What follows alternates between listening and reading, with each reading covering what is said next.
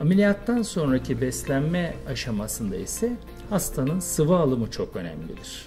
Bir şey yiyip içmesinden daha önemli olan bol miktarda yemek değil sıvı. Çünkü sıvıda geri kalırsak çocuğun ateşi çıkabilir dehidratasyona bağlı olarak. Bu da yine kanamayı davet edebilecek e, negatif etkenlerden biridir. Bir başka şey yapılmaması gereken ameliyattan sonraki periyotta biberon, pipet gibi şeylerin negatif basınç oluşturacağı için boğazda bunların e, bir şekilde kullanılmamasıdır.